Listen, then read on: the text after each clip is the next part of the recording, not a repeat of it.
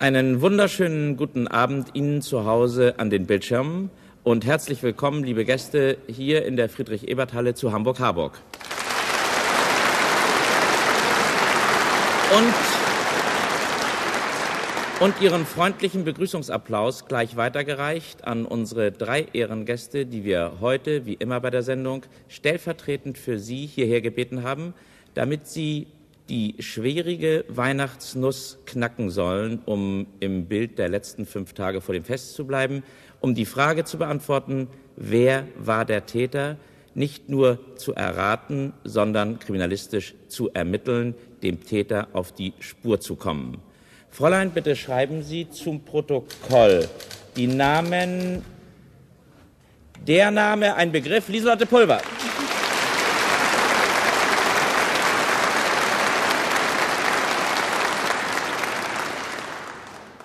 Bin ganz ruhig, denn ich rate den Täter auf keinen Fall. Davon sind Sie überzeugt, ich bin es keineswegs. Lieselotte Pulver, haben Sie irgendeine Beziehung zum Krimi, die Sie so sicher macht, dass Sie auf die falsche Spur geraten? Ich muss immer jemanden mitnehmen, der mir den Film hinterher erklärt. Und das ist im Zweifelsfalle Helmut Schmid, Ihr Gatte. Ja. Und der ist nicht dabei, aber dabei sind zwei Herren, Könige, jeder in seinem Reich. Der König der Evergreens, Peter Kreuder.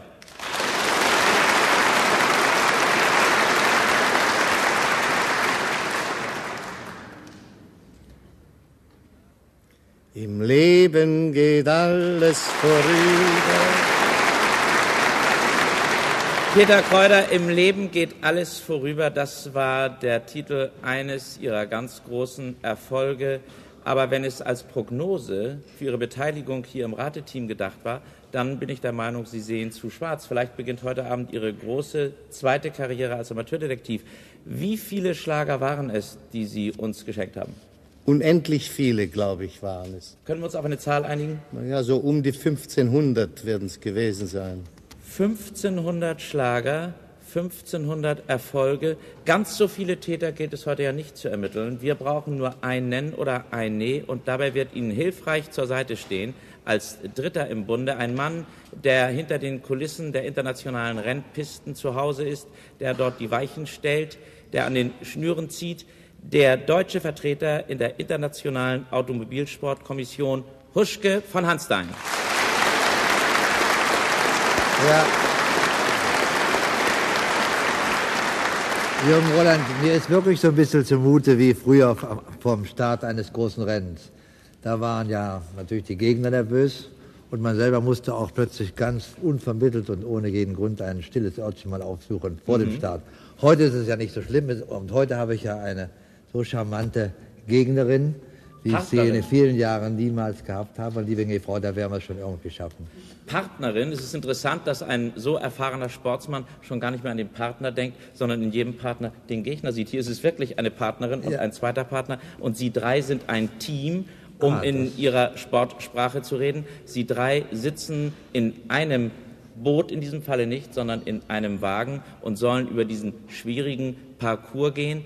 Und ich glaube, die Stimmung hier im Kommissariat ist gut. Sie ist gespannt. Wie ist sie bei Ihnen zu Hause? Ich glaube, wir sollten anfangen, indem wir Paris rufen, unsere beiden Kommissare bitten und uns wieder melden aus der Redaktion des Echo Parisien.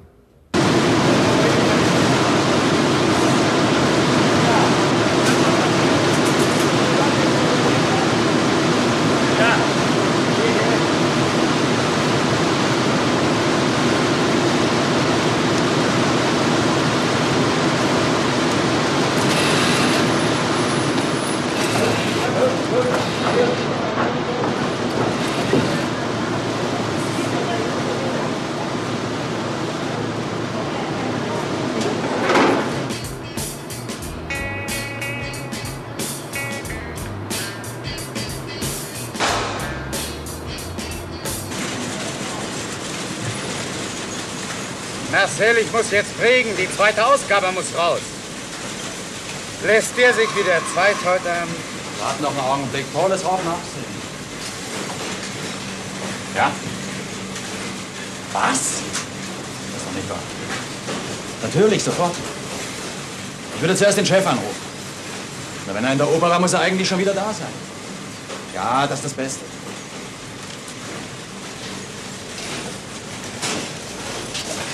Das ist ja ein Dolles. Was ist denn los da oben? Fontaine. Er hat sich erschossen.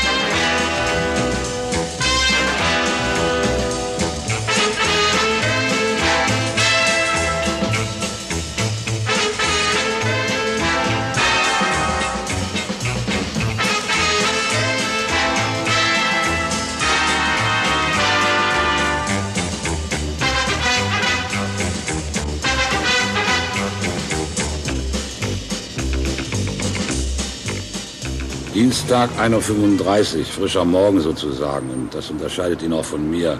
Ich bin hundemüde. Vor einer halben Stunde hat mich unser Chef aus der Falle geklingelt. Ein Toter in den Räumen des Echo Parisien. Ja. Herr Inspektor, geht's wieder die ganze Nacht durch? Lass dich überraschen, ich bin selber neugierig. Monsieur Philippe Marcel, Herausgeber und Chefredakteur des Echo, hatte höchst selber unseren Chef informiert. Was denn, Kommissar? Hören Sie mal, ich hatte verstanden, dass sich Ihr Chef selber herbemühen würde. Das müssen Sie dann falsch verstanden haben. Unsere Chefs liegen um diese Zeit meist in ihrem Bett.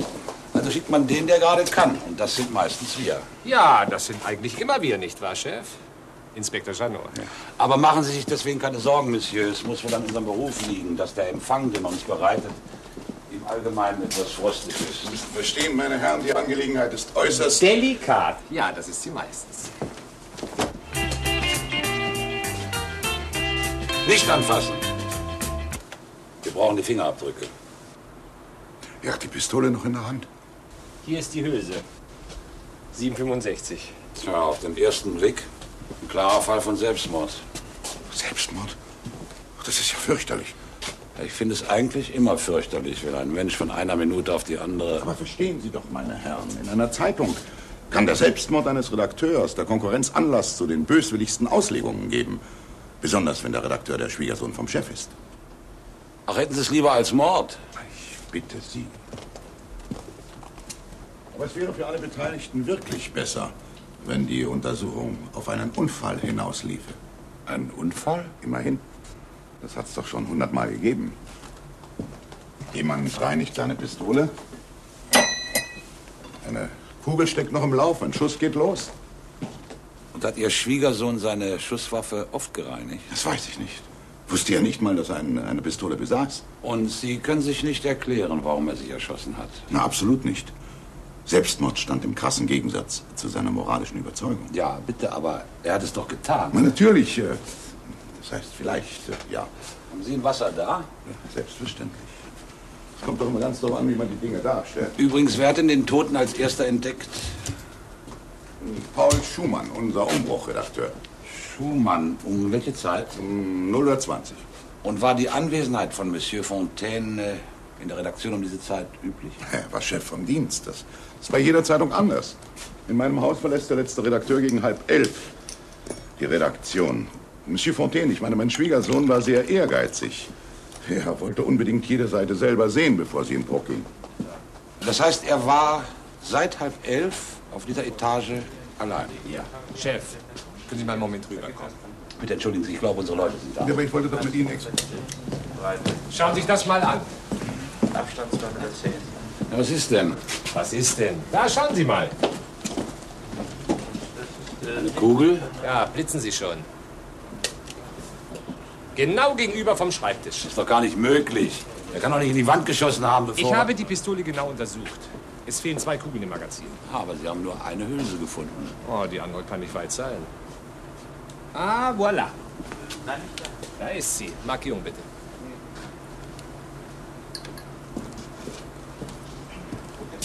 Ja, was, was haben Sie denn? Augenblick bitte. Haben Sie schon mal gesehen, dass man eine 9 mm Patrone aus einer 765er verfeuern kann? Was? Komisch. Ja, was, was soll das bedeuten? Dass es uns sehr schwer fällt, an einen Unfall zu glauben. Und noch weniger an einen Selbstmord. Ich verstehe nicht. Es war ganz einfach. Es war Mord. Was? Mord? Auf alle Fälle werde ich eine Obduktion beantragen. Denise! Warum hat er das getan? Warum hat er das getan?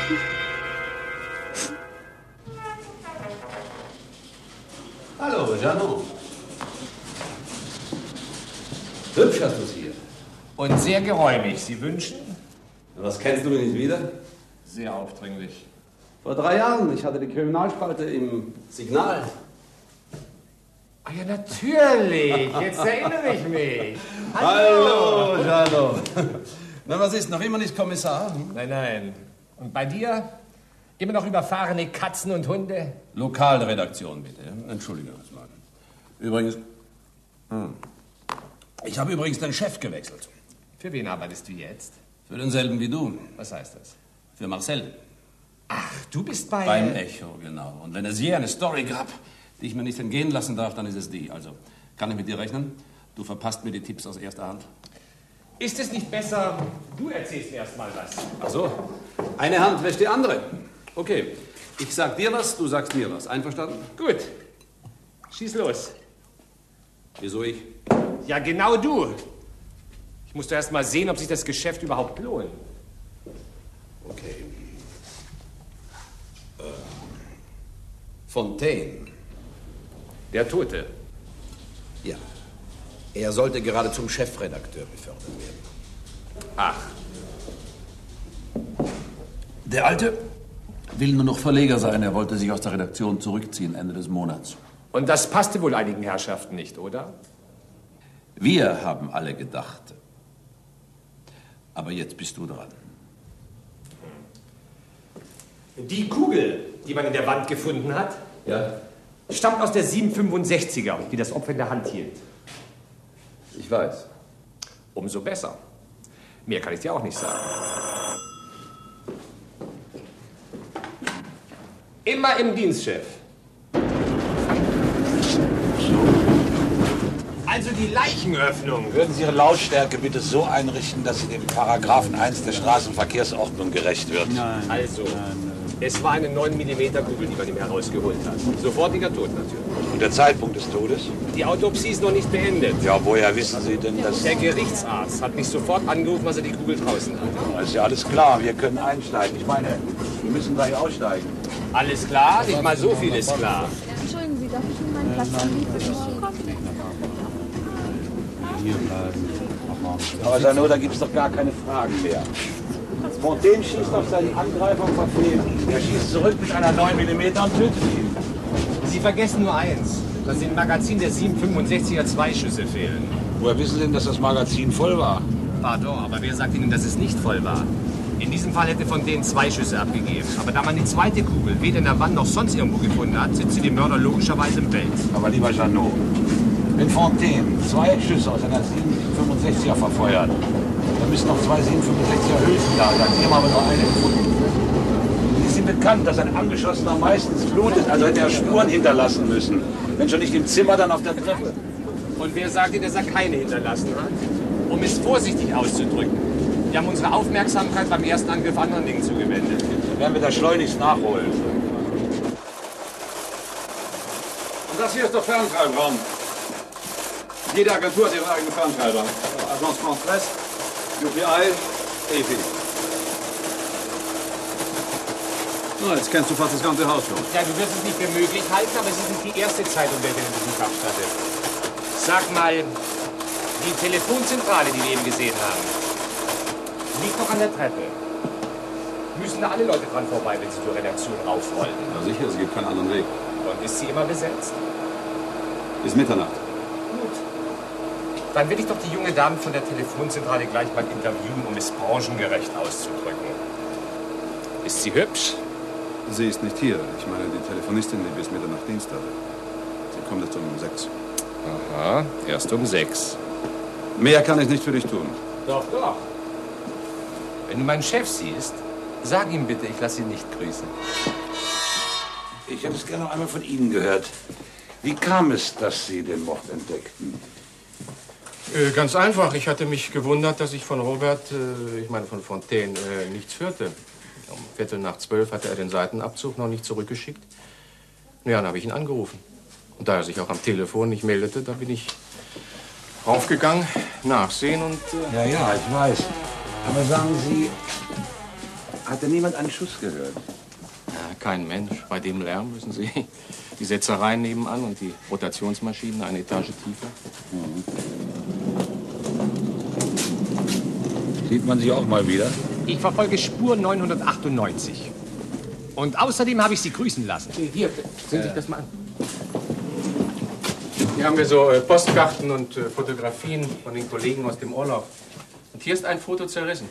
Da sehen Sie hier hinter dieser Heftzweck ist ein Stückchen hängen geblieben. Da saßen die übrigen. Genau über der Stelle, wo die Kugel eingeschlagen ist. So.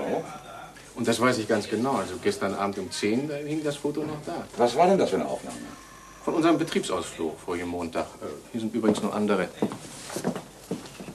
Ist das der Fontaine? Ja. So ein merkwürdiger Gesichtsausdruck. Und daneben ist seine Frau? Mhm. Tochter vom Chef. Ja, ich meine von Monsieur Marcel. Ja, ja, ich weiß. Sagen Sie, wissen Sie denn auch, was auf dem Bild war, das verschwunden ist? Ja, ich glaube, da war Madame Fontaine drauf und einige Kollegen. Aber so genau kann ich das nicht sagen. Ich meine, ist das wichtig? Immerhin. Der Mörder glaubte, dass es ihn verraten könnte. Wer hat denn diese Aufnahmen gemacht? Unser Fotoreporter, Emile Castagnier. Und schon rufe ich ihn an. Den lieben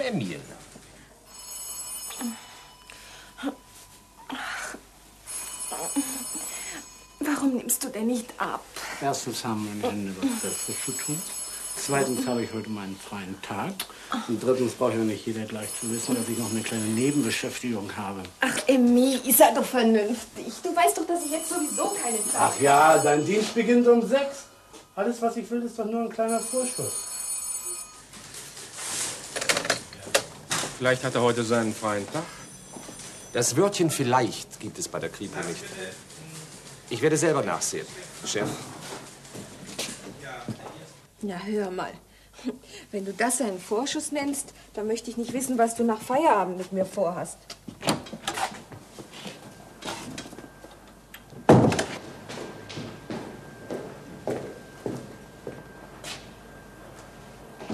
Wer ist denn da? Nicht aus! Entschuldigen Sie. Haben Sie nicht gesehen, dass Rotlicht ist? Nein. Und ich finde, dass Sie für Ihren freien Tag auch viel zu laut sind. Verzeihung, meine Schuld. Ich habe es gar nicht angemacht. Ja, hoffentlich habe ich Ihre hübschen Bilder nicht versaut. Kriminalpolizei. Na, von dem, was ich hier verdiene, kann ich doch nicht leben. Und die Mädchen? Wollen Sie auch gar nicht anders. Denn mir erzählen Sie das. Und schließlich bin ich auch nicht von der Sitte. Was mich interessiert ist, ob Sie die Negative vom Betriebsausflug noch haben. Betriebsausflug? Mhm. Selbstverständlich. Würden Sie mir bitte mal zeigen? Oder noch besser, mir vielleicht einen Abzug davon machen? Kleinigkeit, sofort. Wenn Sie mich nicht bei meinem Chef in die Pfanne hauen, mache ich Ihnen Abzüge von allen Fotos. In jeder Größe. Vielleicht komme ich drauf zurück. Aber für heute genügen mir die Bilder vom Ausflug. Nanu, Was ist? wo müssten Sie eigentlich sein? Ach, da sind Sie. Das ist ja unglaublich. Das ist unglaublich. Äh, Ich meine, ich meine, waren Sie da immer drin? Das sehen Sie, steht ja drauf, noch mit Datum. Und das da? Das sind andere Fotos. Wenn Sie weggehen, schließen Sie doch ab, oder? Ja. Und der Schlüssel? Den hänge ich auf, nebenan in der Redaktion. Mit anderen Worten, der Dieb kann nur einer aus dem Haus sein. Und Sie haben nichts gesehen? Nein. Als was arbeiten Sie denn hier? Als Polizeireporter. Monsieur Bernard. Ja?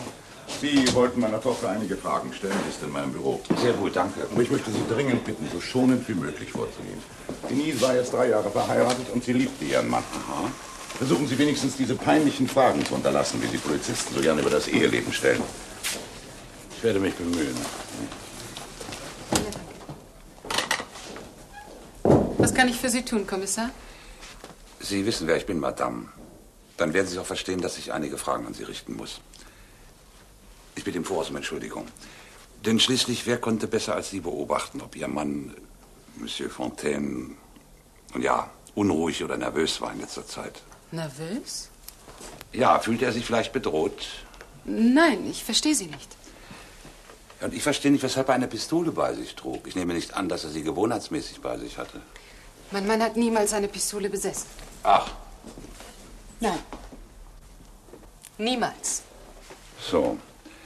Ja, da ist noch etwas. Am Montagabend, während des gemeinsamen Essens, gab es da einen Zwischenfall. Wie meinen Sie das? Hier sehen Sie, es ist, glaube ich, gegen Ende des Essens aufgenommen worden. Ja. Ja, sehen Sie, Ihr Mann scheint mehr als erstaunt, beinahe erschrocken zu sein. Und Sie sehen ihn einigermaßen überrascht an. Ja, jetzt erinnere ich mich. Ein Mann war in den Saal getreten. Mein Mann sah erstaunt hoch und ich fragte ihn, ob er ihn kenne. Er sagte nein.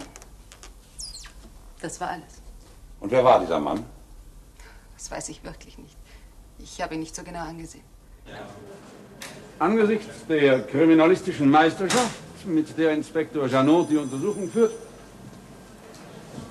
erhebt sich die Frage, wann endlich wird man sich hören aus entschließen, ihn zum Kommissar zu befördern.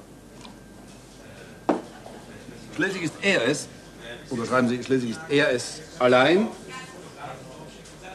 dem es schon jetzt gelang, auf die entscheidenden Fragen die richtige Antwort zu finden. Und diese Frage konnte nur lauten... Wo waren Sie gestern zwischen zehn und halb eins? Wie bitte? Ja, ich brauche Ihr Alibi. Das soll wohl ein Witz sein, Herr Kommissar. Durchaus nicht. Für Witze ist mein Mitarbeiter zuständig. Aber auch der konnte mir bisher nicht sagen, wo Sie waren. Also bitte. Also, Sie sind Monsieur... Legrand. Didier Legrand. Aber man nennt mich Dippi und ich will offen sagen, es geniert mich. Was geniert Sie? Ich war bei einer Dame und will nicht, dass Aber ich irgendwer... bitte Sie. Dafür habe gerade ich vollstes Verständnis. Sagen Sie mir den Namen der Dame, das genügt. Muss das wirklich sein? Ja, es muss. Also.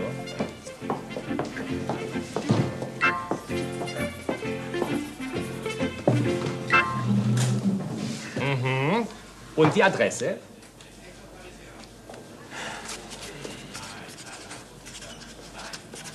Danke. Ich bin zwar sicher, dass das stimmt, aber wir werden das nachprüfen, selbst wenn Sie der Zwillingsbruder von Janot wären, was durchaus möglich ist. Danke.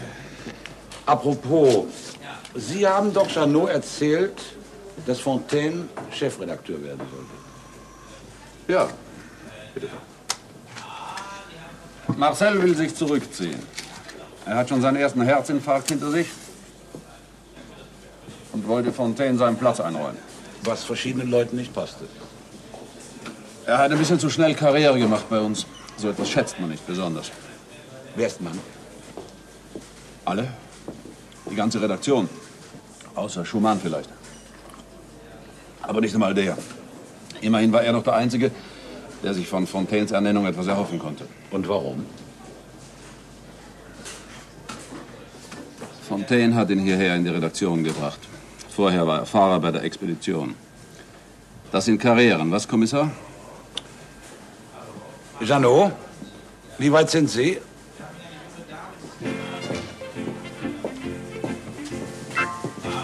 Die Alibis. Die Alibis der Redakteure sind dicht. Nur Monsieur Didier, Verzeihung, ich meine Didi, wird uns noch einiges zu erklären haben. Janot? Ja? Ich glaube, ich kann mich für Ihre Tipps revanchieren. Madame Tick wartet auf uns in der Revue 100 nackte Beinchen. Einen Augenblick bitte, noch leite ich die Untersuchung trotz Ihrer freundlichen Zeilen über meinen Mitarbeiter. Also, wer ist Madame Tick und was sind das für 100 Beinchen? Madame Tick ist eine alte Schauspielerin, die den Tick hat, dass sie es noch nicht ist. Sie belatschert uns die ganze Zeit, dass wir ihr Porträt bringen, noch dazu mit einem Interview. Sie hat angerufen, wenn ich morgen ihr Bild bringe, dann will sie Ihnen jetzt etwas erzählen. Ne? Ist das ein Geschäft? Na los, Janot. 100 nackte Beinchen warten auf Sie.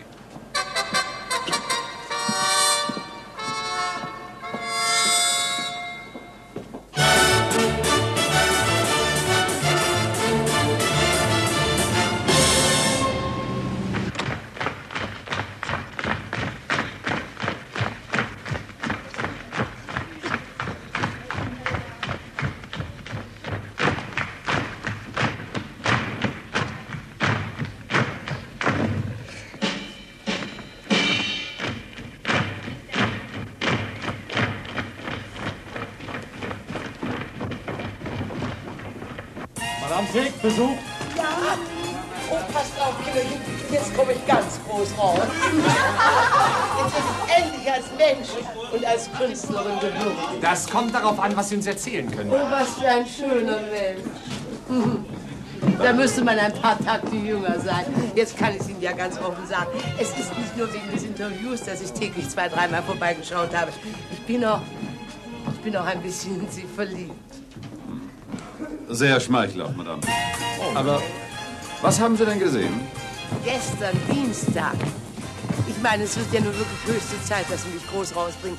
Schließlich habe ich ja schon erste Rolle. Ja, ja, schon gut. Nein, nein, gar nicht gut, gar nicht gut. Schließlich habe ich ja schon, wie ich Ihnen bereits gesagt habe, erste Rollen gespielt. Ich habe zufälligerweise meine Kritiken bei mir. Wenn Ja. Sie vielleicht... Sie wollten also zu mir in die Redaktion und... Ganz richtig, das wollte ich. Und wie ich dann vor der Zeitung stand, Peng. Ja, ich kenne das Geräusch. Irrtum ausgeschlossen. Wissen Sie nämlich vom Krieg her. Da war ich natürlich noch ganz klein, aber Wie spät war es? zwischen neun und zehn. Zwischen neun und zehn. Bist du sicher, dass... äh, Na, morgens um Platz, neun bin ich Platz, doch nicht Madame blau. Platz. Es war also morgens. Ja. Bedauerlicherweise war es abends, als er erschossen wurde. Aber meine Herren, das kann doch unmöglich mein Problem sein. Sehen Sie, was habe ich gesagt? Ich komme ganz groß raus. Ich glaube nicht, dass mein Chef sehr froh sein wird über unser Ermittlungsergebnis. Komm, gehen wir. Bernard, Kommissar Bernard. Sie also haben angerufen. Ja. Und was kann ich für Sie tun? Ich meine, eigentlich haben wir noch gar nicht geöffnet. Also die Redakteure vom Echo, die haben doch hier ihr Stammlokal. Und die waren doch hier zu ihrem Betriebsausflug am letzten Montag. Ist Ihnen nun irgendjemand aufgefallen, den Sie nicht kennen? Ich meine, der nicht dazugehörte zu diesem Kreis. Na, Sie machen mir vielleicht Spaß. Ich habe hier eine Bowlingbar und keine Privatdetektei. Vergessen Sie die Tischtücher nicht. Ja, ja, sicher, aber es muss jemand hier gewesen sein, der, wie gesagt, nicht dazugehörte. Ein Mann. Ach ja, Moment. Ja, ja, da war so einer. Der ist gar nicht erst runtergekommen. Da hat er gewartet. Der hat sogar nach Fontaine gefragt. Und wer war das? Ein Kerl. Kein Pressefritze jedenfalls. Ich habe ihn nie gesehen. Da auf der Treppe hat er gewartet. Und wie Fontaine gegangen ist, ist er ihm nachgegangen. Wie sah der aus? Nichts weiter. Bloß hatte so eine komische Brille. Mit einem undurchsichtigen Glas auf der einen Seite. Undurchsichtig? Ja, so ein Milchglas. Monsieur Legrand, einen Augenblick bitte. Bitte sprechen Sie. Also um Mitternacht lebte Monsieur Fontaine noch. Ja, bevor ich weggehe, melde ich mich immer in der Redaktion ab. Und dann hat er mir noch einen guten Abend gewünscht. Als Sie weggingen, ist Ihnen da jemand auf der Treppe begegnet? Nein, auf der Treppe nicht. Aber ich habe einen richtigen Schreck bekommen. Im Personaleingang neben der Toreinfahrt stand ein Mann und wartete. Was für ein Mann. Ja und? Ich habe Ihnen doch gesagt, ich habe einen Schreck bekommen. Und dann habe ich gesehen, wie er zum Kino rüberging. Um Mitternacht? Die haben da immer Nachtvorstellungen, Krimis und so. Sehr sinnig. Oh, Verzeihung. Ja, bitte? Monsieur Marcel. Ja. Ja, gut. Gut, Monsieur Marcel. Und wissen Sie, ob er allein war? Wie? Ich meine Monsieur Fontaine in der Redaktion, als Sie fortgingen. Ich weiß es doch nicht. Wenn jemand draufgegangen wäre, hätten Sie ihn doch gesehen, oder? Ja. Also war er allein. Ja. Ja oder nein? Ja. Mademoiselle, schauen Sie mir doch mal bitte in die Augen. Wer ist draufgegangen? Hm? Ein Metteur. Ein Metteur? Ja, Chanu. Der die letzte Seite umbricht. Fünf Minuten bevor ich gegangen bin.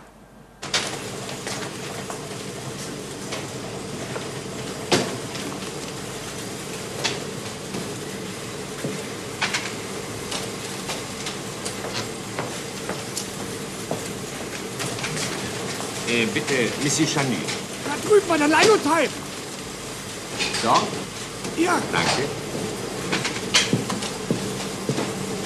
Monsieur Chanu. Ja. Können Sie bitte mal sprechen? Augenblick. Sie können sich wohl denken, was mich hierher führt. Nein? Wenn meine Informationen richtig sind, waren Sie der Letzte, der Monsieur Fontaine lebend gesehen hat. Ich? Ja, Sie. Sie sind doch kurz vor Mitternacht hinausgegangen, oder? Tja, aber er war nicht allein. Wieso? Seine Frau war bei ihm. Madame Fontaine. Haben Sie sie gesehen? Nein, aber ich. Ich habe sie gehört. Als ich an die Tür zur Redaktion kam, habe ich gehört, wie sie Krach miteinander hatten. Naja, und. Da bin ich wieder gegangen. Also, Sie haben Monsieur Chanu nicht wieder herunterkommen sehen. Nein. Und Sie sind wirklich nicht vor Mitternacht gegangen. Nein. Und Sie waren den ganzen Abend in der Zentrale. Ja. Sehr schön. Dann haben Sie logischerweise Madame Fontaine vorbeikommen sehen. Nein. Hören Sie, Mademoiselle. Selbst bei einer so attraktiven jungen Dame, wie Sie es sind, hat meine Geduld Grenzen. Nein, nein, lassen Sie das jetzt. Aber ich muss doch. Die können warten. Ich warne Sie. Sie oder der Metteur lügen. Eine andere Lösung gibt es nicht. Sie haben Madame Fontaine also nicht gesehen. Sehr schön. Eigentlich passt mir das sehr gut. Mit Ihrer Aussage habe ich jetzt genug Material zusammen. Es liegt alles klar auf der Hand. Nur Mrs. Chanu kann der Mörder sein.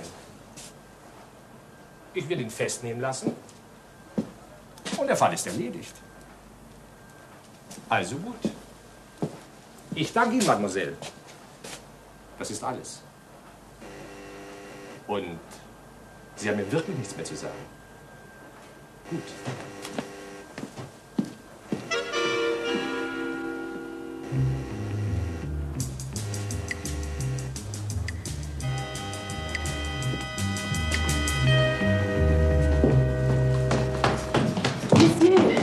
Ja. Ja. Ich muss Ihnen etwas sagen. Ich nehme an, das wird Kommissar Bernard auch interessieren. Ja, kommen Sie doch, ich weiß ja nicht. Ja, bitte. Sie werden entschuldigen, Monsieur Marcel, aber es handelt sich um den Nachruf für Fontaine. Sie haben mir doch gesagt, er sei 1957 Redakteur beim Courrier in Lyon gewesen. Ja, und?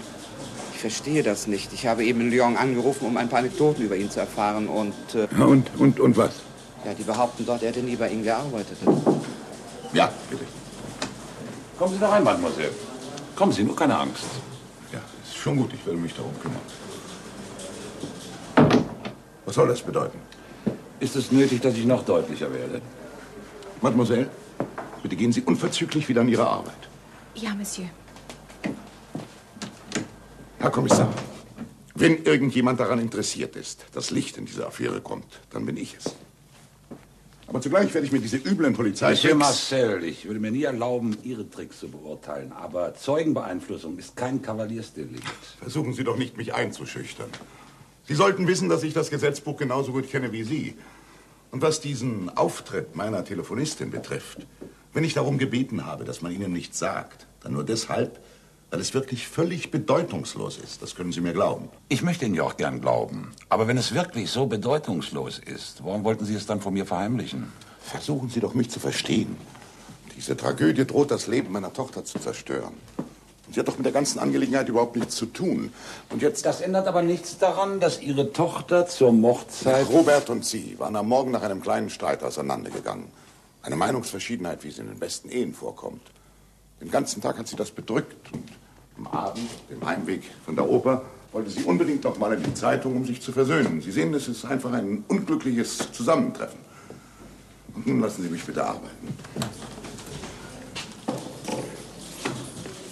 Herr Direktor, kann ich Sie sprechen?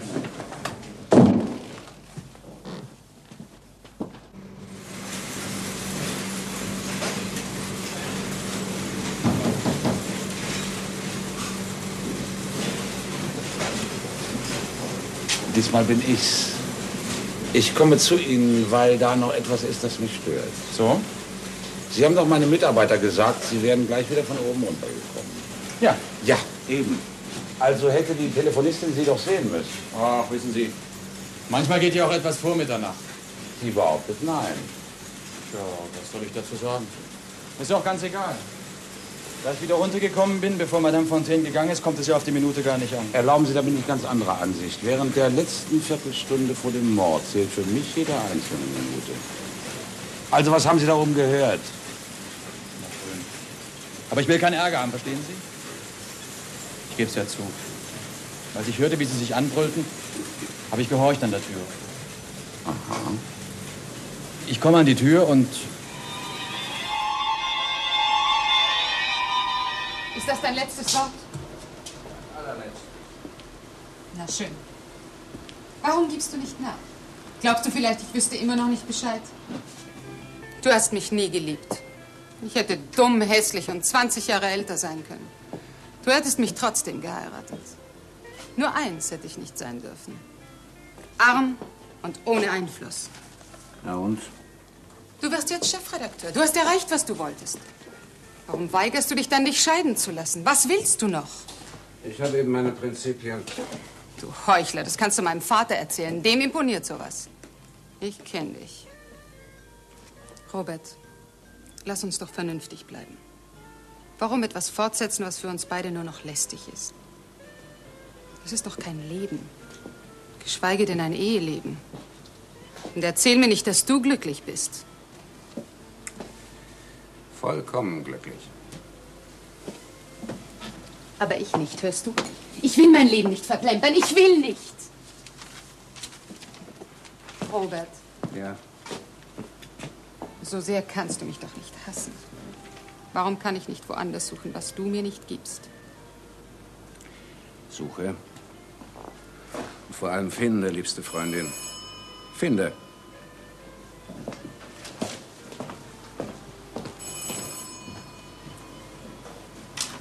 Ja.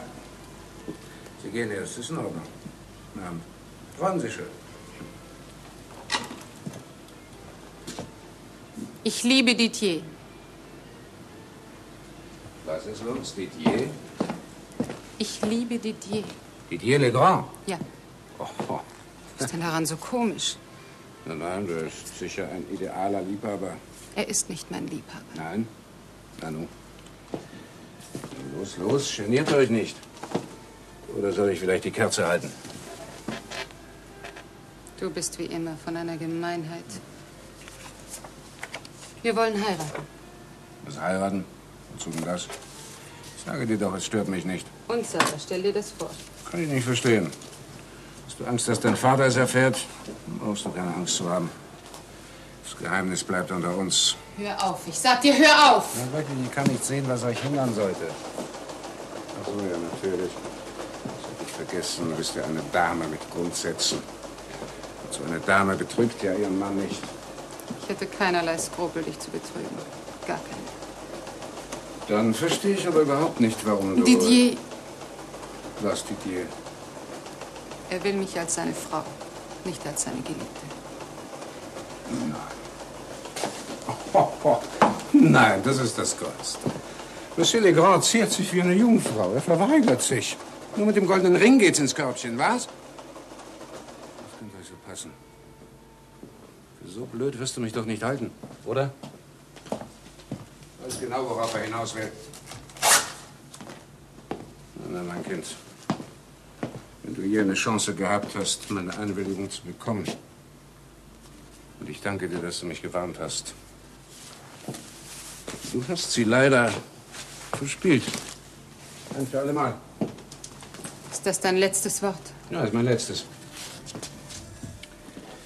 Übrigens, äh, wenn dir damit gedient sein sollte, ich kann dir die Adresse von einem kleinen, diskreten Hotel geben. Du Schwein. Hotel Oswald. Saint-Germain-des-Prés.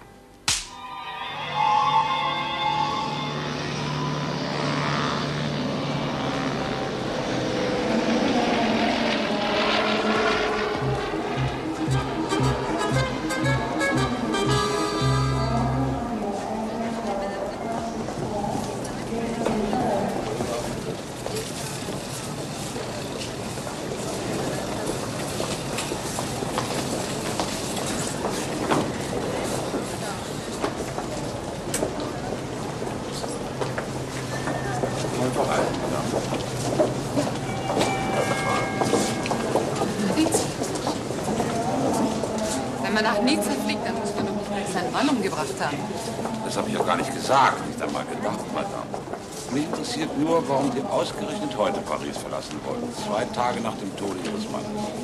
Ich will der heuchelnden Verwandtschaft keine trauernde Witwe vorspielen. Die Beziehungen zwischen meinem Mann und mir waren auf einem absoluten Nullpunkt. Sehen Sie, genau das hat uns Ihr Vater ganz anders erzählt. Mein Vater konnte Ihnen nur erzählen, was er von mir hörte. Ja, und jetzt höre ich. Können wir das nicht woanders besprechen? Gern.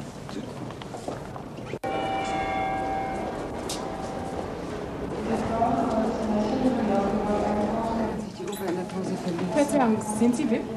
Was bin ich? Oh, Verzeihung, Madame. Und der Herr gehört. Zu Madame.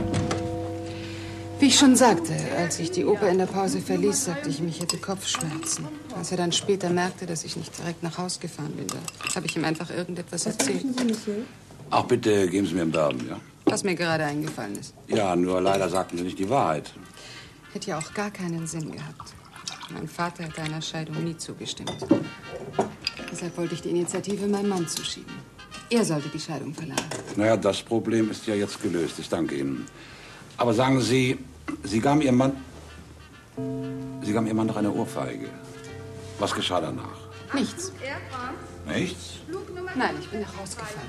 Vitier wartete auf mich. Ach, Monsieur Legrand war auch... Unten im Wagen. Er fuhr mich nach Hause. Als ich die Wohnung betrat, da, da erfuhr ich. Naja, jetzt kann ich Ihnen es ja sagen. Es war wie eine Erlösung für mich, als ich später erfuhr, dass Robert nicht Selbstmord begangen hat. Ein Leben lang zu denken, er hätte vielleicht meinetwegen. Naja, das verstehe ich ja alles. Aber was sagte Monsieur Legrand, als er das von Ihnen erfuhr? Ist ein Kommissar Bernard? Ja, Sie werden es nicht glauben. Entschuldigen Sie bitte. Danke. Bernard? Ja, sie ist hier. Ja, natürlich komme ich mit. Es tut mir schrecklich leid, aber Sie können jetzt nicht fliegen. Sie müssen sofort zurück in die Redaktion. Mein Vater? Ja, schwerer Herzanfall. Nein, Madame, nichts. Nein, ich kann nicht lauter sprechen. Weil man das in Gegenwart eines Toten nicht tut. Ich habe ihn gefunden, meinen Angeschossenen. Albert Cross. Mit einer 765er im linken Arm. Ihr Misstrauen ehrt mich, Chef. Ich komme gerade vom Labor. Halten Sie mich auf dem Laufenden.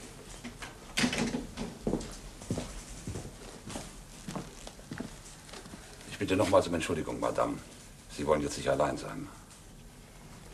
Erst Robert und jetzt mein Vater. Ich kann das alles nicht verstehen. Ich stehe Ihnen jederzeit zur Verfügung. Doktor, Sie kümmern sich um Madame Fontaine. Albert Gross, sagt Ihnen das was? Ach, äh, Sie meinen den Zeichner, den... Äh, Expressiven Realisten. Ja, aber hieß der nicht... George, ja. Aber ich suche einen Albert. Oh, Und warum das? Sagten Sie Gross? Ja. Ich kenne einen. Aber es sollte mich wundern, wenn Sie den suchen. Und warum? Der sitzt im Knast. Erzählen Sie doch Hallo. mal. Okay, ja, wir kommen. Los, Kinder, Sitzung. Wir machen einen Sondernachruf. Entschuldigen Sie, Herr Kommissar. Aber es kommt ja schließlich nicht alle Tage vor, dass beide Chefs plötzlich und unerwartet von hinnen ziehen. Einen kleinen Moment noch, ja. Wo haben Sie denn diesen Gross kennengelernt? Äh, In Bordeaux, als ich noch Fahrer war. Er hatte eine Zeitungsagentur, die mit zu meinem Bezirk gehörte. Aber ich sag's nochmal, ich bin ganz sicher, das kann nicht der Mann sein, den Sie suchen. Und Sie müssen nicht zur Sitzung?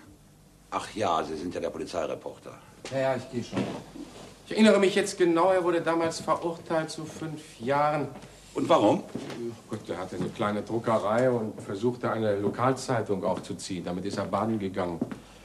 Äh, Das Gericht nannte es damals betrügerischer Bankrott. Können Sie mir den Mann Schumann, beschreiben? bitte zur Sitzung. Gut, wissen Sie, da war eigentlich nichts Besonderes, äh, außer dass er auf einem Auge blind war. Der war auf einem Auge blind? Ja. Hat er in seiner Brille ein Milchglas? Stimmt. Warum? Äh, ist das äh, wichtig? Mhm. Sind Sie jetzt endlich fertig? Es wäre nämlich gut, wenn Sie antworten würden. Witzbold. Sie wiederholen sich, Schwester. Zehn Minuten und keine Minute länger. Aha. Sie haben doch bei Ihrer Einlieferung gesagt, dass es bei den alten Hallen war, wo man Sie angeschossen hat. Ja.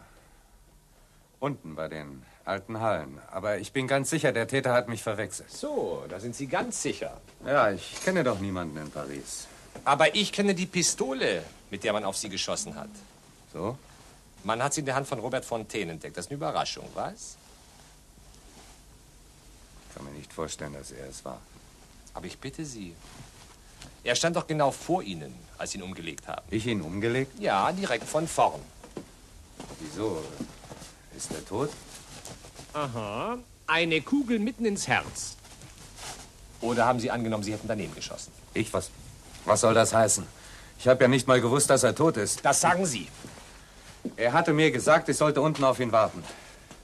Im Foyer des Kinos, das habe ich getan. Und da hat einer auf mich geschossen. Im Kino? Ja, gegenüber dem Hinterausgang. Und was ist mit der zweiten Kugel? Ist die von alleine losgegangen da oben? Die zweite Kugel? Ja, Fontaine hat zwei Kugeln abgeschossen. Die eine, die man dir aus dem linken Arm herausgeholt hat, und die andere, die sich in die Wand gebohrt hat, im Redaktionssaal. Nicht so laut, die Kranken nebenan brauchen Ruhe. Bin gleich wieder da. Ja, ja, schon gut. Also, was ist? Selbst wenn ich Ihnen alles erzähle, Sie würden mir ja doch nicht glauben. Versuchen Sie es doch. Ja, ich. Ich komme gerade aus dem Gefängnis. Ja, ja, 1966. Zu fünf Jahren verurteilt. In Bordeaux. Ach, Sie. Weiter. Ja. In Bordeaux habe ich Robert Fontaine kennengelernt. Er war der Redakteur bei einer kleinen Zeitung. Und ich besaß eine Druckerei.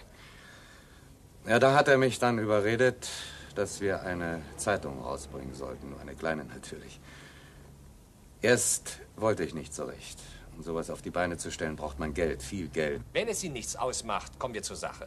Ich bin ja dabei. Wir haben sie also gemacht, unsere Zeitung. Und ich war offiziell der Herausgeber. Er blieb im Hintergrund. Ich brauchte nur zu unterschreiben. Und ich unterschrieb. Vertrauensvoll. Alles, was er mir vorlegte. Und dann, eines Tages, wurde ich verhaftet. Erst da erfuhr ich, dass das Geld unserer Aktionäre futsch war. Alle hat er reingelegt. Alle. Und in meinem Namen. Mir kommen die Tränen. Und Sie? Kaum aus der Haft heraus. Auf nach Paris, um sich zu revanchieren. Ja, ich, ich wollte ihn sprechen. Erst hat er sich gedrückt, aber dann bestellte er mich für Montagnachmittag um 4 Uhr in ein Restaurant.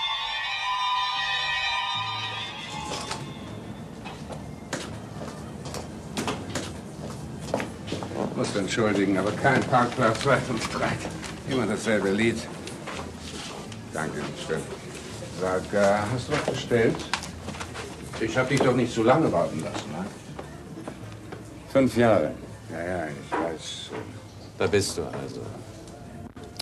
Gesund und munter. Na klar, warum auch nicht? Von diesem Augenblick habe ich geträumt, dass du da sitzt, vor mir. Und dass ich dich packen werde. Na, na, na, komm. Aber jetzt, wo es soweit ist, habe ich keine Lust mehr. Ich will mir die Finger nicht dreckig machen. Hör mal zu, äh, Albert, nicht? Warum hast du mich eigentlich ganz allein reinschlittern lassen? Wir haben doch keine Chance. Was hätte es dir genützt, wenn wir beide gesessen hätten? Aber dir hat es genützt, dass du nicht gesessen hast. Ich sehe.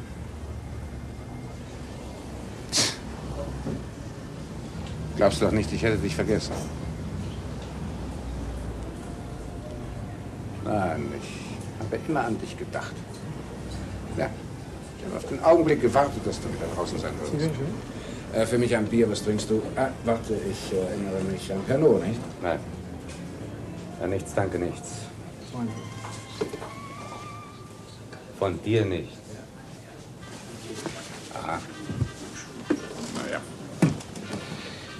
Dann äh, sieh dir das doch bitte mal an. Ein Scheck. Mhm.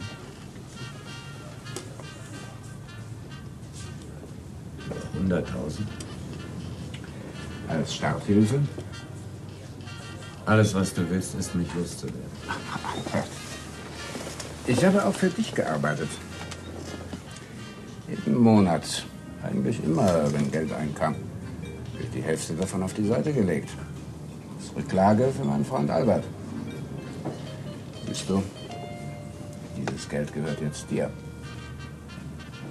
Das hast du getan. Du siehst.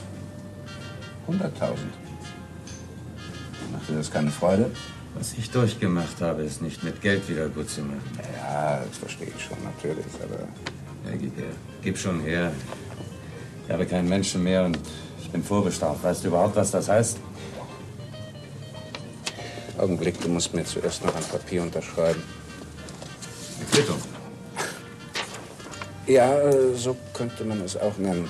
Bitte. Schreibe, ich unterzeichneter Groß Albert, bestätige hiermit. Den Empfang? Nein, nein, äh, bestätige hiermit, dass ich. Dass ich was? Dass ich der Alleinschuldige bin an dem betrügerischen Bankrott. Was ist denn das? Na, ist doch klar, oder? Also, du verlangst von mir, dass ich. Aber Albert, das ist doch nur eine Formsache. Du hast für alles bezahlt, du bist frei und der Fall ist erledigt. Also, ich soll dir jetzt auch noch schriftlich geben, dass du mich. Nein. Tja, mein Lieber, entweder du schreibst oder ich zerreiße den Scheck.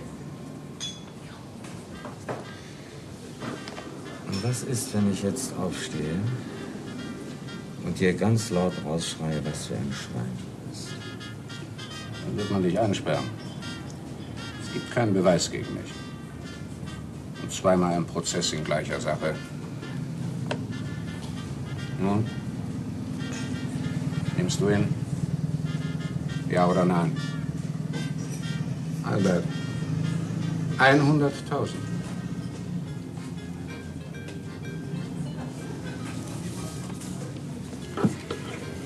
Betrügerischen Bankrott meiner Zeitung Der Bote von Bordeaux.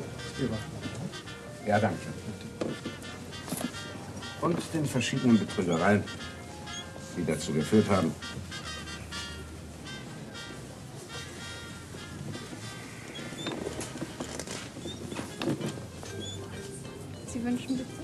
Ein Pernod. Das ist alles. Datum? 13. Dezember 65. Das ist der Tag, an dem ich verhaftet wurde? Ja, natürlich. Der 13. Dezember 1965.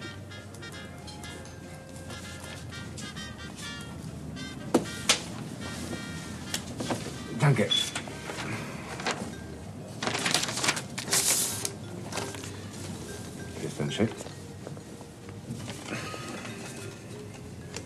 Ist ja nicht unterschrieben. Ach, entschuldige. Das ist natürlich. Wo man manchmal seine Gedanken hat. Bitte. Auf deine Freiheit, Herbert. Deine Gesundheit. Das ist vorläufig alles, was ich aus ihm herausholen konnte. Und in einer halben Stunde kommt er zum Lokaltermin. Was sagen denn die Ärzte dazu? Die Schwester hat ganz schön protestiert. Aber schließlich ist sie doch. Ihren Charme erlegen, ja, ja. Auf jeden Fall sorgen Sie dafür, dass der Mann noch heute Nacht zurück ins Krankenhaus kommt. Was ist denn mit seinem Scheck? Hat er den eingelöst? Nein. Warum nicht? Da. Schauen Sie sich das mal an. Fällt Ihnen nichts auf, Chef?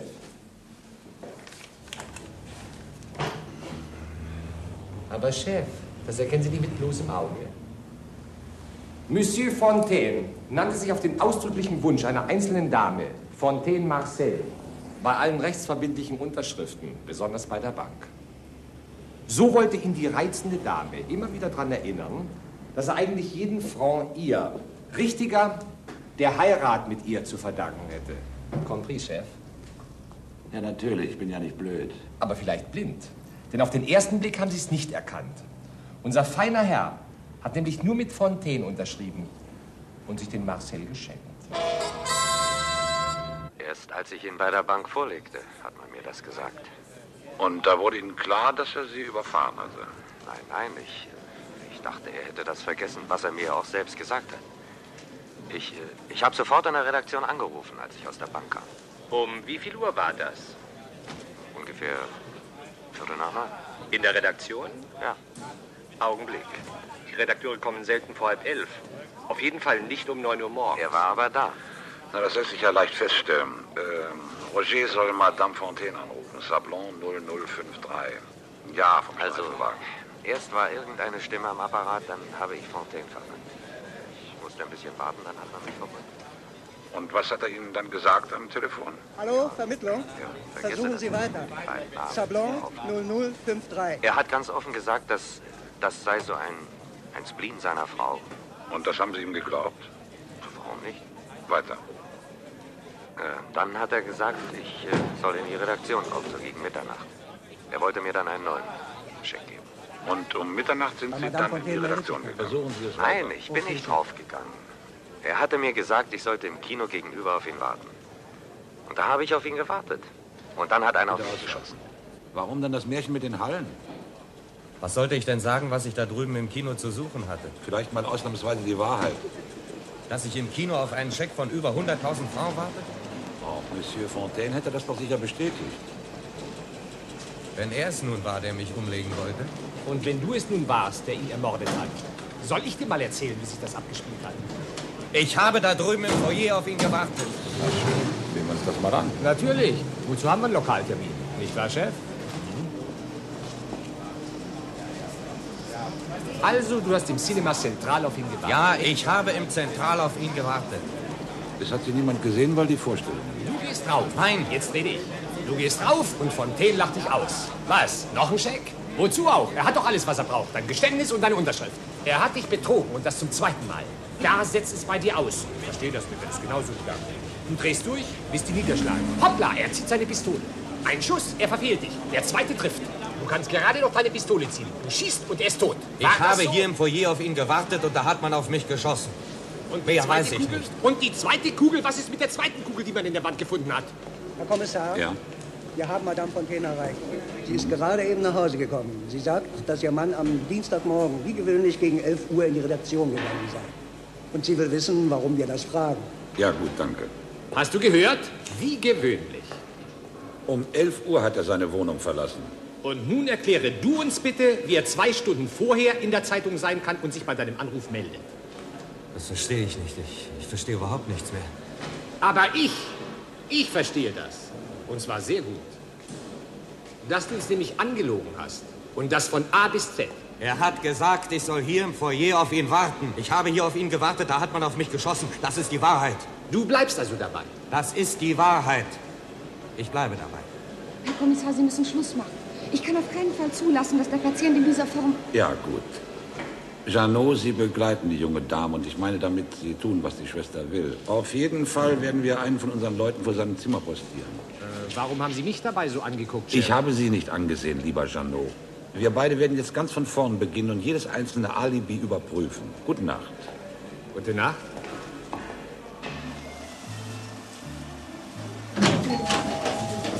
Guten Tag, Madame. Vertreter empfange ich nur zwischen 10 und 11 Uhr morgens. Kriminalpolizei. Kriminalpolizei? Bei Ihnen arbeitet eine gewisse Mademoiselle Sylvie. Ja. Sylvie Dutois. Ich hätte Sie gern gesprochen. Mein Gott, was hat sie angestellt? Würden Sie sie bitte rufen? Natürlich. Sylvie?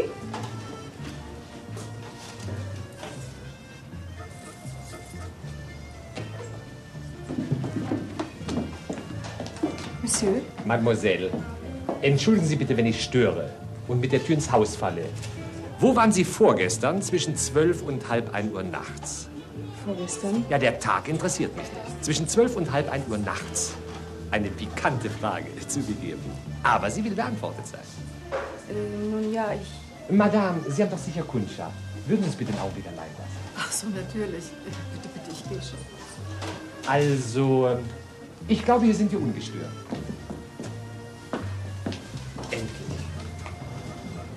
Ich war den Abend Mit meinem Freund zusammen. Mhm. Den Abend und die Nacht. Ja. Ich war um 10 Uhr bei ihm und bin erst wieder gegangen Wann? um 7 Uhr morgens. Ihr Freund ist zu beneiden. Wie heißt er denn? Didier. Didier Legrand. Monsieur Legrand. Ja, bitte sehr.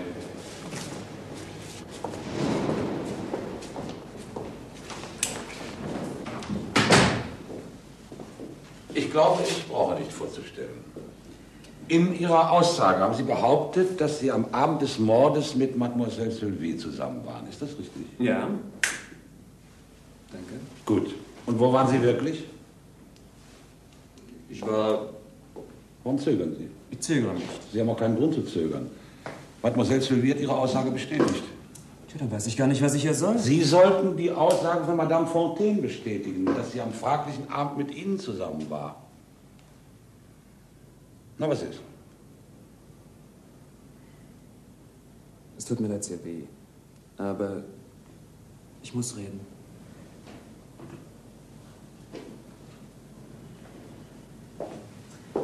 Jawohl, ich war mit Madame Fontaine zusammen.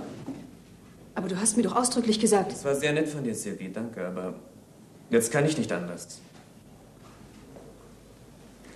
Äh, Mademoiselle, würden Sie bitte mit mir kommen?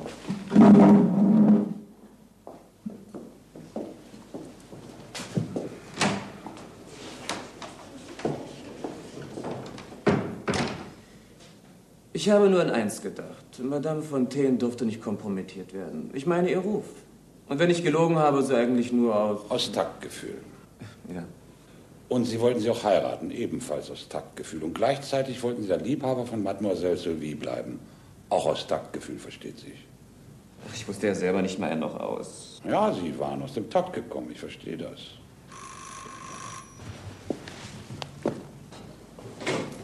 Ja, bitte? Die 765, aha. Und er hat einen Waffenschein. Gut, danke. Also fassen wir zusammen. Am Dienstagabend hatte Madame Fontaine angeblich Kopfschmerzen und verließ die Oper gegen 22 Uhr, um sich mit Ihnen zu treffen, nehme ich an. Ja, sie war bei mir, das stimmt. War das verabredet? Nein. Warum kamen Sie dann? Sie war fix und fertig. Seit Wochen versuchte sie ihren Mann zu überreden, dass er in die Scheidung einwilligte. Jetzt kam sie und wollte, dass ich mich mit ihm ausspreche. Das konnte ich natürlich nicht als quasi sein Angestellter. Also beschlossen wir, dass sie es selbst noch einmal versuchen sollte. Wir fuhren hin zur Zeitung und ich wartete im Wagen auf sie. Lange? Nein, ungefähr zehn Minuten. Und hat Monsieur Fontaine in die Scheidung eingewilligt? Wie? Ja oder nein? Nein. Und dann hat Madame Fontaine darauf gedrängt, dass Sie selber in Aktion treten. Es hat keinen Zweck, Herr Kommissar. Ich habe an diesem Abend keinen Fuß in den Redaktionssaal gesetzt. Und am Morgen auch nicht? Wieso am Morgen? Gegen Viertel nach neun zum Beispiel. Nein, warum? Wer ist denn um diese Stunde in der Zeitung? Niemand. Die Putzfrauen gehen kurz vor neun und die Telefonistin und Sekretärin kommen erst um zehn. Ich würde sogar sagen, es ist einer der wenigen Augenblicke am Tage, wo tatsächlich niemand da ist. Aber warum fragen Sie mich das? Nur so.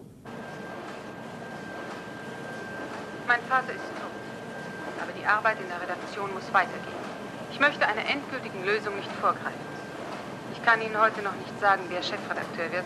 Ich bitte daher alle Redakteure in kollegialer Zusammenarbeit vorerst unsere Zeitung zu gestalten. Wobei ich meine, dass einer die Federführung übernehmen sollte. Und das ist äh, Monsieur Legrand. Ich bin sicher, dass Sie meine Entscheidung unterstützen werden. Wir danken Ihnen, Madame Fontaine. Wir werden Ihre Entscheidung loyal akzeptieren. Ja, das war der offizielle Teil. Lassen Sie uns nun zum Gemütlichen übergehen. Ich meine zum privaten Braucht eben alles seine Zeit. Mensch zu Mensch. Ach so. Nein, Sie habe ich nicht gemeint. So. Bei der Arbeit nämlich. Ich kann nicht leiden, wenn man mich drängelt. Ja, das verstehe ich. Das geht mir ganz genauso. Sie warten auf mich? Ja. Entschuldigen Sie die Sitzung. Ja, ja, ich weiß. Na, sind Sie endlich fertig? Kein Saft in der Leitung. Ich gehe mal zum Sicherungskasten. Ja, ein bisschen Braucht ihm Aufmerksamkeit alles seine Zeit, nicht wahr? Kennen Sie diese Pistole? Das ist eine 765er. Mhm. Und was noch? Das weiß ich. Vermutlich die von Monsieur Fontaine. Sie wurde in seiner Hand gefunden, das ist richtig. Und was lesen Sie hier für eine Nummer? 9043. Das ist auch richtig. Und für diese 9043 wurde am 15. April 1955 ein Waffenschein ausgestellt auf den Namen. Na, was meinen Sie? Lassen wir das Theater. Ja, sie gehört mir. Das ist alles nicht sehr aufregend. Fontaine hatte mich gebeten, ihm das Ding zu borgen, und ich tat ihm den Gefallen. Wann? Dienstag. Also am Tag, als der Mord geschah. Ja, hatte mich mittags drum gebeten. Ich hatte ihn natürlich nicht bei mir.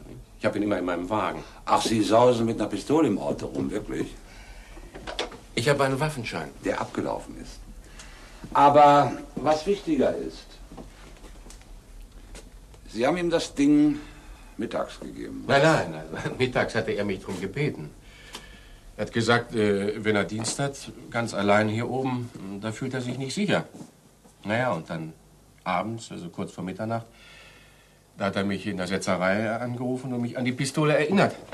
Da habe ich sie aus meinem Wagen geholt und sie mit den Seitenfahnen durch die Röhre hochgeschickt. Durch was? Durch den kleinen Fahrstuhl da. Ja. Hier. Also Sie sehen, nichts Geheimnisvolles. Naja, vielleicht nichts Geheimnisvolles, aber noch einige Punkte, die zu klären sind. Vor allem, warum haben Sie das nicht gleich gesagt? Naja, zuerst, als es hieß, er hätte sich selbst umgebracht, da hatte ich schon ein schlechtes Gewissen. Ein bisschen jedenfalls. Wir feiern den neuen Chef. Und jetzt?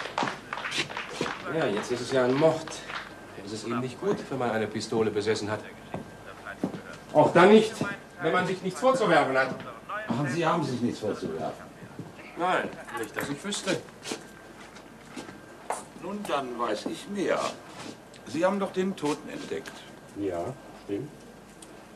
Sie waren also der Erste, der festgestellt hat, dass Fontaine tot ist. Ja. Und? Nun, der Erste, der ihn tot gesehen hat, könnte ja auch der Letzte sein, der ihm lebend begegnet ist. Was? Sie hatten genau wie jeder andere die Möglichkeit, ihn umzubringen. Ja, natürlich, aber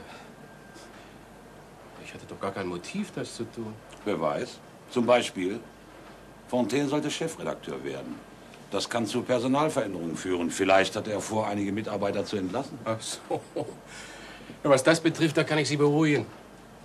Wenn einer hier geblieben wäre, dann bin ich es. Warum? Naja, er mochte mich. Und vor allem, Sie kannten Albert Gross. Sie waren 1965 Zeitungsfahrer in Bordeaux. Also waren Sie über die Geschichte damals ausgezeichnet informiert. Ja. Sicher. Natürlich habe ich mich in Erinnerung gebracht, als er die Tochter von Marcel heiratete. Er legte schließlich keinen großen Wert darauf, dass sein Schwiegervater davon erfuhr, dass. Äh von da an mochte er mich besonders. Nahm mich in die Druckerei, die Redaktion, wies mir kleine Gefälligkeiten. Wenn ich Geld brauchte, dann borgte er es mir. Vergaß gern, dass er es mir geborgt hatte. Mit anderen Worten, Sie erpressten ihn. Nennen Sie es, wie Sie es wollen. Aber für wie blöd halten Sie mich? Dass ich eigenhändig die Henne töte, die die goldenen Eier legt? Es sei denn, die Henne mit den goldenen Eiern hätte sich entschlossen, nicht mehr zu legen. Was ist das? Das Papierchen, das Gross ihm am Tag vorher noch unterschrieben hatte. Wir haben es in seiner Brieftasche gefunden.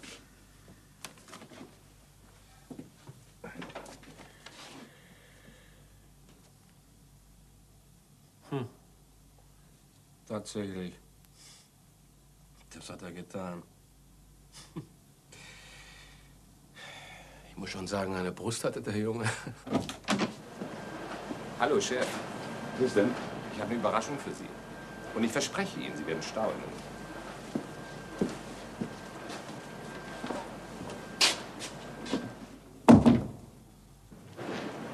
Es braucht eben alles seine Zeit, meine Herren. Ich hätte mir gedacht, dass Sie sich ein bisschen früher bemühen würden. Ja, die Herren von der Polizei. Ich habe die Pistole hier gefunden, wie ich den Kasten aufmache, um die Sicherung auszuwechseln. Da, schauen Sie sich das mal an.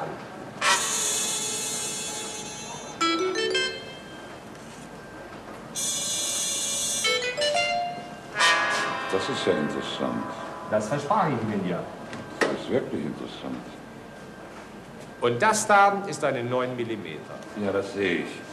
Das ist ganz klar. Mit dieser Waffe wurde Fontaine erschossen. Aber wundern tut mich nur eins. Warum der Mörder die Waffe so nah am Tatort versteckt hat. Was weiß ich? Zeitmangel wahrscheinlich. Aber er hätte doch wenigstens das Foto vernichten können. Apropos, das Foto. Ach, Monsieur Schumann, würden Sie bitte mal kommen? Entschuldigen Sie. Und Sie hängen das Bild bitte dahin, wo es war. Sagen Sie mal, woher wissen Sie denn, dass es da war? Genau da. Sieht man doch. Hier, die Ecke, die an dem Reißnagel hängen geblieben ist. Na ja, er hat recht. Genau da hing es. Aha. Und nun endlich erfahren wir, warum dieses Foto so gefährlich war für den Täter. Statten Sie. Na ja, mir genügt's. Da, sehen Sie. Ja, natürlich. Für mich ist der Fall klar. Und für Sie?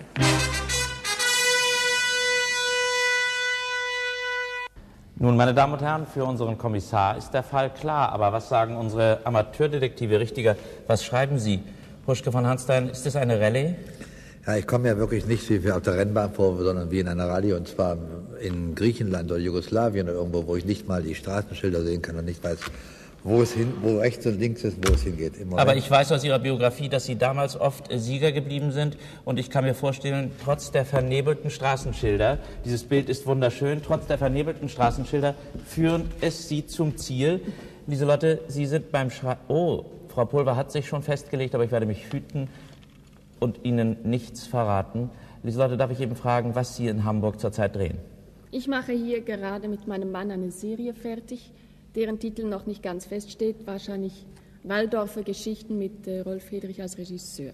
Aber in jedem Fall genügt die Tatsache, dass Sie spielen, um die Zuschauer an den Kanal zu locken, der dieses Fernsehspiel ausstrahlt. Und Peter Kräuter, Sie, oh, das sieht fast aus wie ein Libretto, fehlen nur noch die Noten und ein neues Musical von Peter Kräuter ist geboren. Ja, das ist aber noch sehr bunt.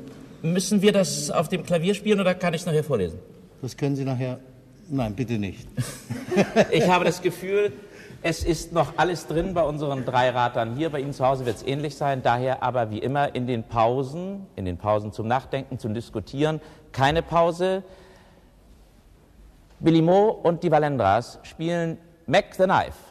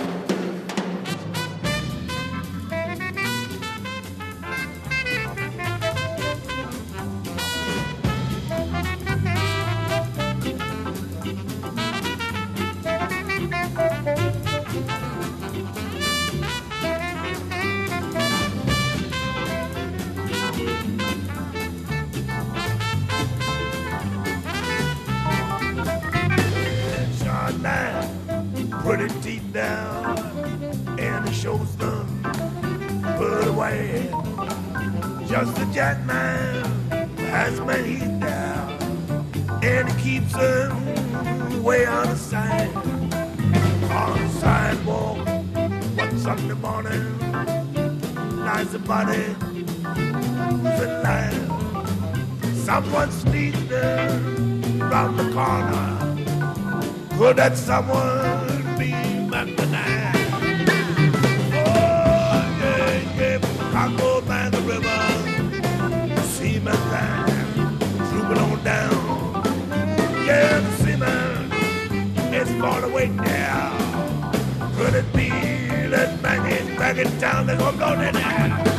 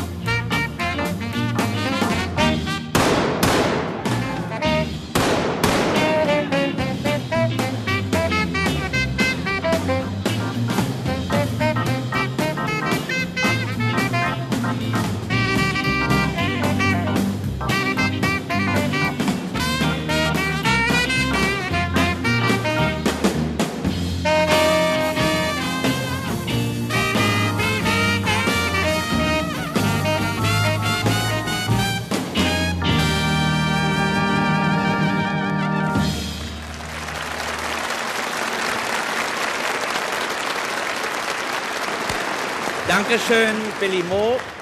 Ich glaube, wir sind in der richtigen Stimmung jetzt. Mackie Messer hat uns inspiriert und ich glaube, verehrte gnädige Frau, wir sollten einfach dem Sportler unter uns.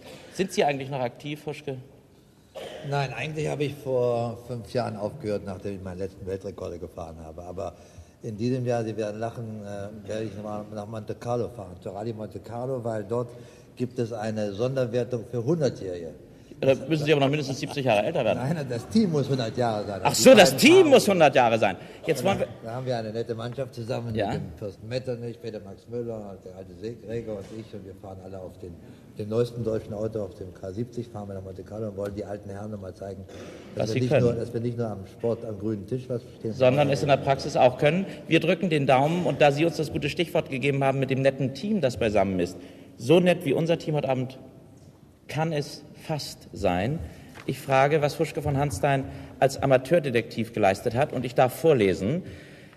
Er meint, die Telefonistin hat gelogen, denn jemand muss hinauf zu ihr oder hinuntergegangen sein. Gross als Täter fällt daher aus. Der Metteur Janu hatte kein Motiv, ebenso wenig der Polizeireporter. Täter ist Didier Legrand, genannt Didi. Unser Freund Didi, Sie sehen ihn auch hinter uns. Ja, Täter ist Didi Legrand. Motiv, er will die Denise für sich und die Position in der Zeitung. Ich glaube, das ist einen kräftigen Applaus wert. Damit aber, meine Damen und Herren, damit, meine Damen und Herren, habe ich nicht gesagt, dass das richtig ist, verehrter Herr von Hanstein. ein guter Holzweg sein. Das wiederum haben Sie gesagt, aber Sie haben ja einige Praxis in der Überwindung von Knüppelpfaden und ähnlich schikanösen Wegstrecken. Äh, Lilo, wir als schlichte Amateurfahrer haben da weniger Praxis. Wollen wir schauen, ob es mit der Amateurdetektivin besser geht. Lieselotte Pulver schreibt, Didier, also Didi wieder, hat auf Fontaine gepulvert. Wie darf ich das gepulvert? ähm, also, Didi hat auf Fontaine gepulvert. Vielen Dank für dieses nette Wortspiel. Beide sitzen im gleichen Wagen, würde ich einmal sagen. Denn beide Männer, die seine Ehe mit Heidi, äh, mit Heidi Brühl, Ja. apropos Heidi Brühl, hat in sechs Tagen ihre Las Vegas Premiere. Toi, toi, toi, Heidi. Ähm, also beide Männer, die ihr im Wege standen, ihm, ja, ihm im Wege standen, brachte er um. Erstens, um sie zu heiraten, zweitens, um Chefredakteur zu werden. Das ist ja eine Das Teamarbeit. abgesprochen, Na, ist das ein abgesprochen. Schmiermaxe? Ja, ja, mit nachgeschaut. Ja, Peter. Das ist nicht gut. Das ist ein Konzept. Das ist ein Konzept. Ja, Fangen alle ihre großen Schlager so an? Fast immer. Oder es ist nur eine Zeile da und dann stimmt es. Mhm. Hier stimmt vieles nicht, als dass ich einfach nicht von Anfang an davon loskommen konnte. Diese Frau mit diesen kalten Augen, Ja, dieses böse Weib, ja. die eine schlechte Verstellerin war, eine gute Schauspielerin, Ja. aber Eine schlechte eine Verstellerin, ja? schlechte Verstellerin, wenn sie die Tür aufmachte und hinübersah zu dem Toten und zum Vater und dann kamen die berühmten Krokodilstränen. Ja. Sie wollte alles. Sie Mhm. wollte diese Burschen haben als ihre Verhältnisse Ja. und sie wollte vor allen Dingen das Haus in der Hand haben. Nachdem Vater tot war, ist sie die wirkliche Besitzerin und auch Chefredakteurin geworden. Also ich sie kann nur sagen, die Geschichte gefällt mir. Sie sollten sie unbedingt vertonen. Wird aber ein trauriges Lied. Ja, vorerst haben wir eine sehr lustiges, ein sehr lustiges Musical von Ihnen zu erwarten. Ja. Das heißt Evergreen Genau so ist es. und beinhaltet fast alle Ihre großen Schlager. Das muss ja sechs, sieben Stunden lang sein. Nein, das geht ja nicht. So lange darf es nicht dauern. Ich glaube auch, dass wir damit wieder eine ideale Überleitung haben, meine Damen und Herren. Wir sollten Sie und wir sollten Sie nicht länger auf die Folter spannen. Sie werden in etwa sechs Minuten entscheiden, ob Sie zu Hause den wahren Täter oder die richtige Täterin ermittelt haben. Sie sollen dann auch entscheiden, wem unserer Gäste hier die Siegespalme oder die Goldmedaille gebührt. Ich bedanke mich schon jetzt bei Ihnen ganz herzlich, dass Sie gekommen sind. Ich wünsche Ihnen glückliches zu Ende drehen. Ich wünsche Ihnen einen Riesenerfolg und ich wünsche Ihnen in Monte Carlo Hals- und Beinbruch und Ihnen und uns jetzt noch einmal Konzentration für die Auflösung. Wir rufen Kommissar Bernard. Na, haben Sie es raus? Sehen Sie auf diesem Foto. Da liegt die Lösung, sieht man auf den ersten Blick. Doch, doch, sehen Sie mal genau hin. Noch immer nicht? Gut. Dann werde ich Ihnen noch zwei Fotos zeigen. Sie kennen sie sicher schon. Nun sehen Sie sich Monsieur Fontaine einmal genau an. Mit welcher Hand wirft er die Kugel und in welcher Hand hält er den Löffel? Natürlich in der linken. Übrigens hatten Sie es diesmal etwas leichter als ich, weil Sie schon einmal bei einer anderen Gelegenheit darauf gestoßen wurden. Entsinnen Sie sich, als er den berühmten Scheck unterzeichnete. Erinnern Sie sich? Kurz gesagt, Monsieur war Linkshänder und aus diesem Grunde, ja, aus diesem Grunde muss ich Ihnen noch ein Foto zeigen. Wir haben es heute Abend mit der Laterna Magica. Dieses Foto wurde vom Erkennungsdienst aufgenommen bei den ersten Erhebungen und Sie selbst waren Augenzeuge. In welcher Hand hält er die Pistole? In der rechten. Na also, das ist der Beweis dafür, dass er sich nicht erschossen hat. Man hat ihm die Pistole in die rechte Hand gelegt. Ein Täuschungsmanöver des Mörders. Ja, ja, ich weiß. Sie werden jetzt sagen, aber die 765er Kugel, die in die Wand eingedrungen ist, die muss doch jemand abgefeuert haben. Der Mörder natürlich. Auch das gehörte zu seinem Trick. Und dafür gibt uns das berühmte Foto, keine Sorge, es ist das letzte. Und dafür gibt uns das berühmte Foto, das er abgerissen hat, die Lösung. Hey, Janot! Ja, Chef? Nehmen Sie das Foto ab. Aha. Das da? Ja, ja. Was sehen Sie dahinter in der Wand? Da. Den Einschlag der Kugel. Folglich hätte sie das Foto durchschlagen müssen. Nun stellen wir aber fest, zeigen Sie es bitte.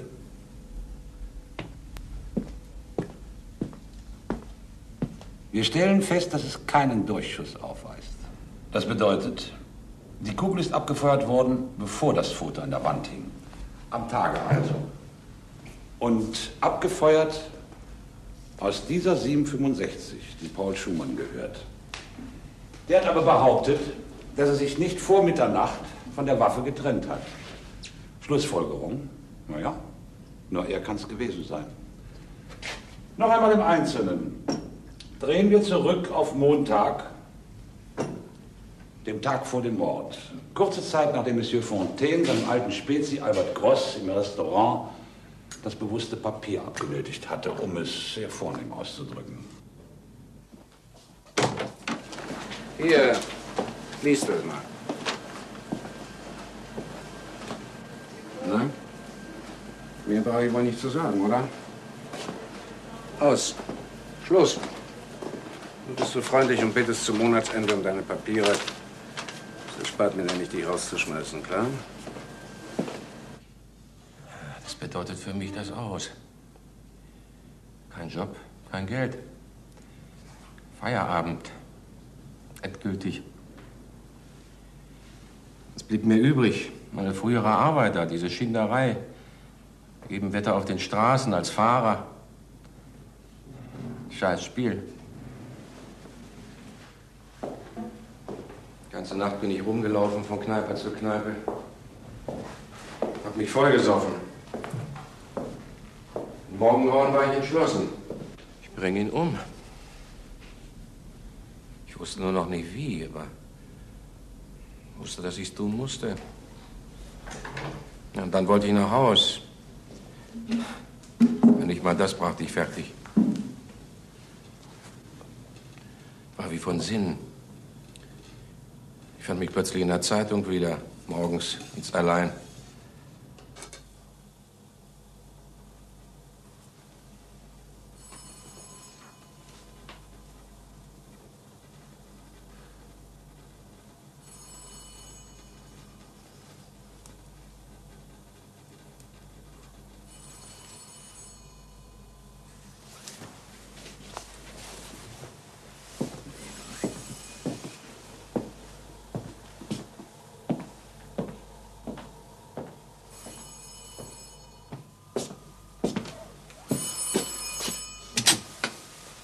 Ja. Wen? Wer ist im Apparat? Worum handelt es sich? Äh, Moment mal bitte. Erinnern Sie sich? Viertel nach neun. Das war Gross, der anrief, als er aus der Bank kam. Gross, von dem Schumann wusste, dass er genügend Gründe hatte, um Fontaine zu hassen. Also, warum sich nicht seiner bedienen? Und nun beginnt in Schumann eine Idee zu reifen. Ich will nicht sagen, dass er sich gleich entschieden hat, aber der Anfang war gemacht.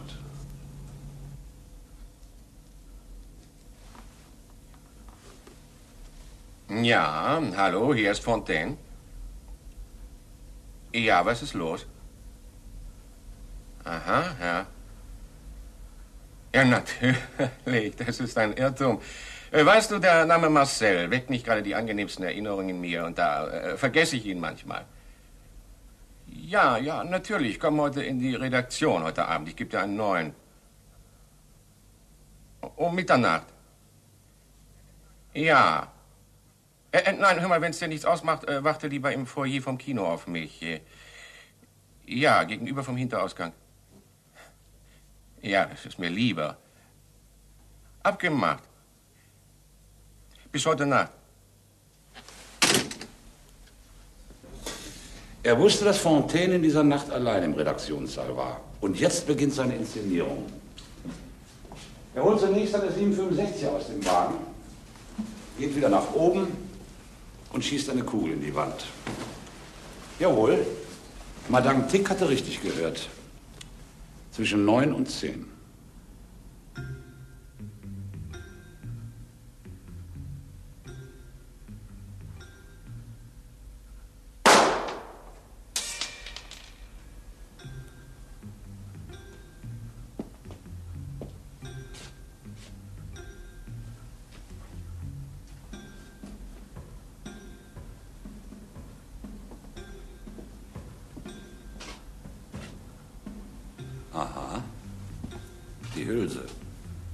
Vergessen, die Hülse aufzuheben.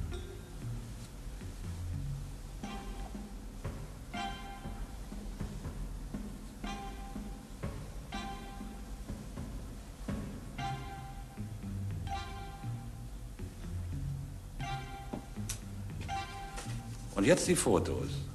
Natürlich, da hängen schon welche vom Betriebsausflug.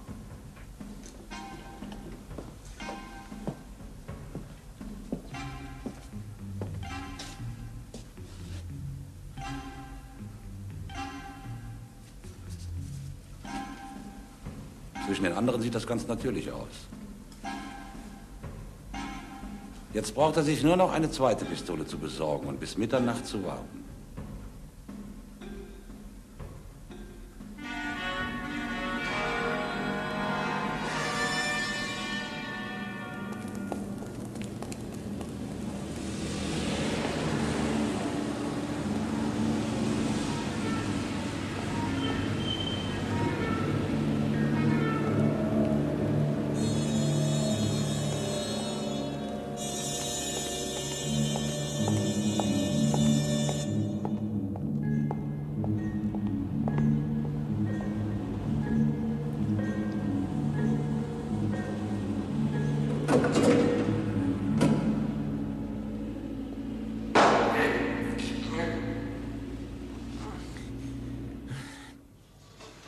Dann wäre beinahe noch alles schiefgegangen. Etwas war in seinem Plan nicht einkalkuliert. Nämlich der Besuch von Madame Fontaine, die ihren Mann sprechen wollte. Aber nach zehn Minuten kann er aufatmen. Sie fährt ab und er geht mit seiner Waffe hinauf.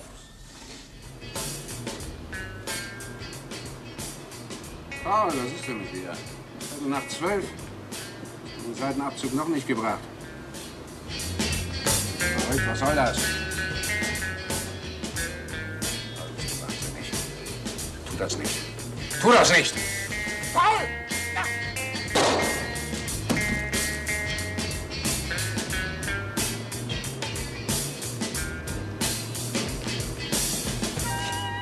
Nun muss alles ganz schnell gehen und nur nicht den Kopf verlieren.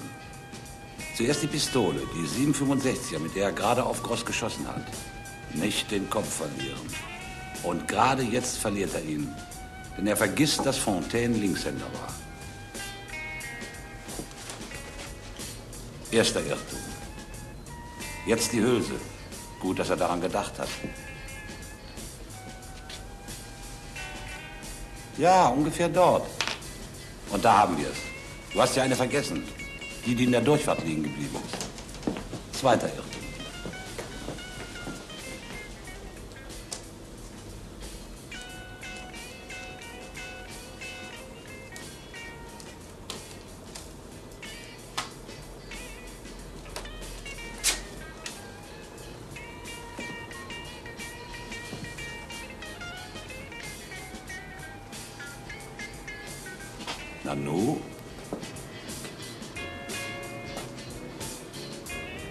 Ja, es ist wahr.